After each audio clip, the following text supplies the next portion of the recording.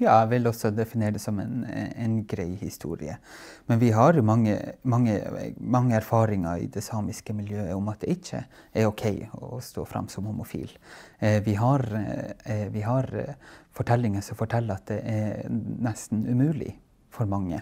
Men igjen så har vi fortellinger som, som, som min annet, og kanskje mine kollegaer på Sametinget forteller, at det har til tider vært veldig enkelt. At det ikke har vært de store kampene som, som, som, som det her nyhetsbildet hviler på, at det er, er første homofile samer eller første skeive samer på Sametinget.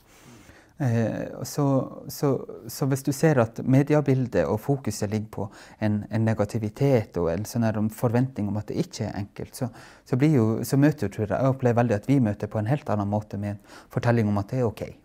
Det kan jo være bra. Eh, det er jo, eller det er jo bra at vi har å fronte og, og vise den sida av saken. Men samtidig så vet vi jo også fra, altså fra uh, levekårsundersøkelser og statistikker nasjonalt om at, eh, om at det, er, det, er, dårligere levekår, eh, mer selvmords, selvmordsforsøk, eh, mer hets. Eh, eh, man, ja, man, man, blir møtt i samfunnet på helt andre premisser. Og hvis man tar det de, den statistikken, og legger opp på den statistikken og de undersøkelsene som ja, helsedata på samer, hvor 45 eh, av alle samer blir å oppleve eh, seksual, ja, seksualisert vold i løpet av sitt liv. Eh, hvor, man, hvor, hvor, vi vet at, at, at den selvdefinerte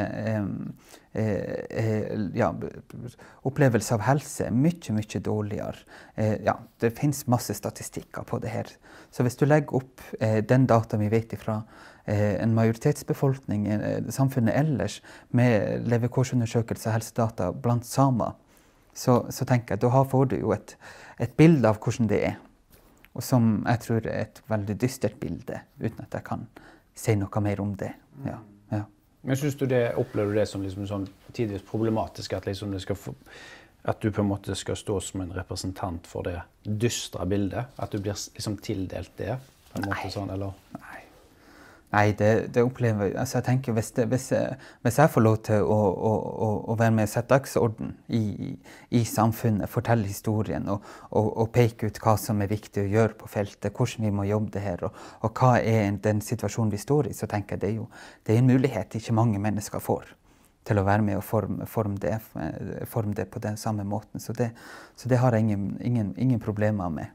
Men jeg tenker jo samtidig som vi forteller en, en god historie, så må vi også trekke fram at, at, med all sannsynlighet så er det mange som ikke ennå tør å stå åpent fram. Altså som same, eh, som, som, som skeiv. Og, og, da tenker jeg da, eh, Det å ta det på alvor og, og, anerkjenne det, det er ikke samme som å fronte at det skal være så negativt, eller at det, at det er noe med det samiske samfunnet som er galt, og at det må gjemmes bort. Jeg tenker at Det er en viktig differensiering som vi må gjøre på det.